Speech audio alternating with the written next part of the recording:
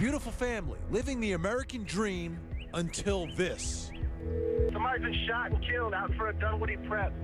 Rusty Sneiderman, a devoted husband and father, is shot dead just moments after he drops his toddler son at daycare. We, the jury, find the defendant as to count one, guilty beyond a reasonable doubt, but mentally ill. Tonight's bold question Did Andrea Sneiderman lie again today in court?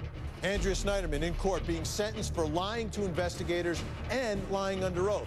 Did she tell the truth today when pleading for leniency from the judge who sentenced her to five years in prison? For the After Dark defense tonight, criminal defense attorneys Ashley Merchant and Philip Snyder. Steven Sneiderman had a lot of words to describe Andrea Sneiderman, but right now, from our experts, I just want one word. One word to describe Andrea Sneiderman today. Phil Snyder. Gotta go hyphen, sticking to her guns.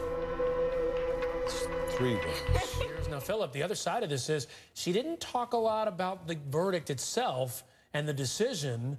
She That's kind she seemed a little defiant. She seemed a little defiant. She really had two options today. She could have gone in there and, and fell on the sword and said, I did this, I'm sorry, I had this relationship. But the bottom line is there's a possible appeal coming down the pike. So she had to weigh that.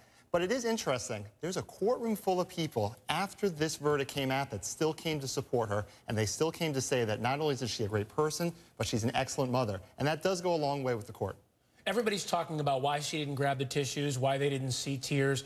Does everyone always have the same response, Philip and Ashley, to this kind of stress and pressure? Say what you want about her. She is an intelligent woman. She has a good vocabulary. She was seemed composed up there, but when she spoke about the children, clearly she was telling the truth about how difficult this is on her and on her two young children. I think she was crying a little bit about the children. I think she realizes what she has done, and those children are going to grow up She without a doesn't want mother. her life. The internet.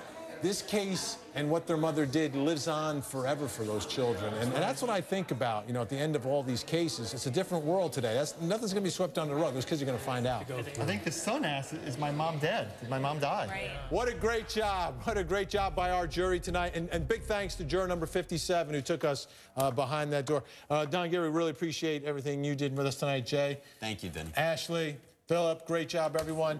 That's it for HLN After Dark. We'll see you next time.